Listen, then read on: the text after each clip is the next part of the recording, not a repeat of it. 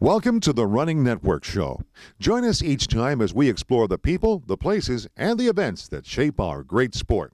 but there's still time to get there.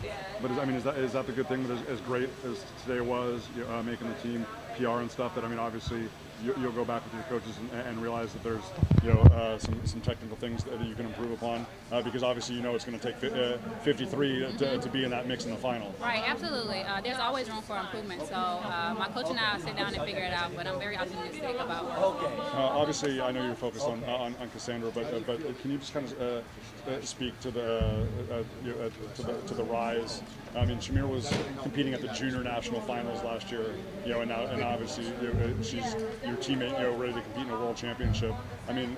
Uh, All respect, like you said, for Georganne and Lashinda for what they've already accomplished, but I mean, it seems like you, uh, you and her are at a time when you know when her star is rising.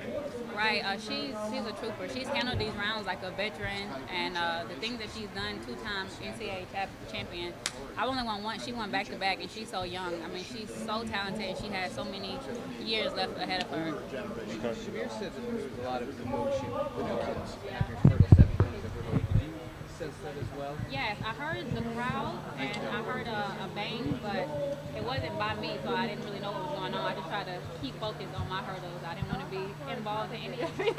Is it hard to stay focused in that moment when you when you can hear those other things happening? Um, it's easy to get distracted, but you know you have to stay focused on your lane and your race. Yes, thank you. Cassandra, best of luck. Thanks so much. Thank you. Good luck. Thank you.